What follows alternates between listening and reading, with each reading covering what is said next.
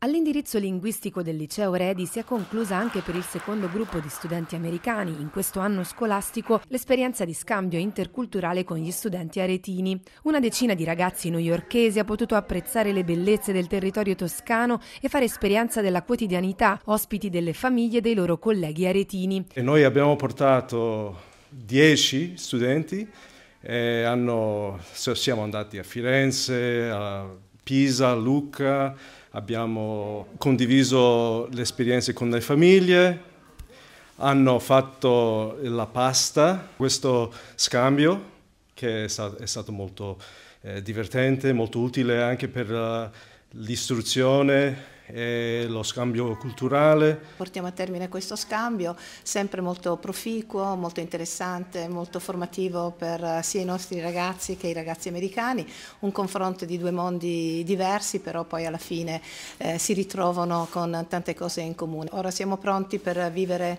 eh, l'ultima parte dello scambio e quindi con la nostra partenza. Tra qualche giorno sarà il turno degli studenti del liceo Redi che partiranno alla volta di New York. Partiremo da Roma il 16 marzo, saremo ospitati dai nostri amici eh, americani per due settimane, quindi staremo fino al 30 marzo.